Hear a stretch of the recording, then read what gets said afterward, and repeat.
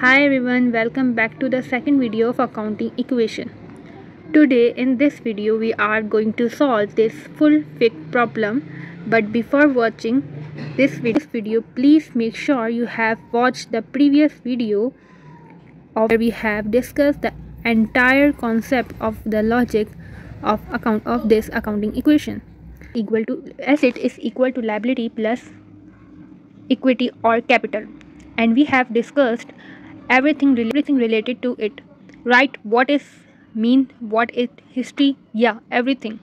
We have understood and all we have discussed the expect expanded accounting equation right? We have seen how this equity thing or capital thing is expanded right? And the most important part over here was that you know revenue and expenses they affect the expense they affect the capital or equity whenever you have income or revenue in, you have income or revenue you have to add the capital expense. You have to deduct from capital.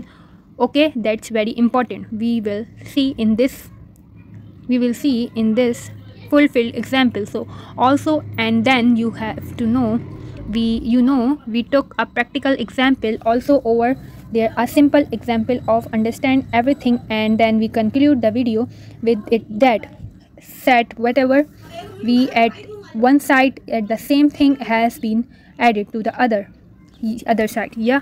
Then only it will be the equal to asset is equal to liability plus equity equity right whatever treatment you do on one side the same treatment you has to do you has to done, be done.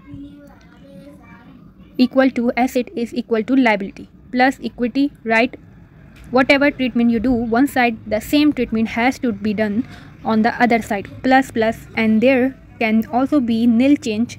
Nil change mean what the change will only be there only one the asset side minus 10000 and plus 10000 like that okay.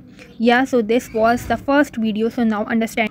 You have to go and watch that. Let's get back to this video. Let's see the question now see here prepare the accounting equation on basics of following transaction. So here we have been given 10 transaction and we have prepared the accounting equation on the basic of following transaction. So we have been given this transaction and we have prepared whole accounting equation.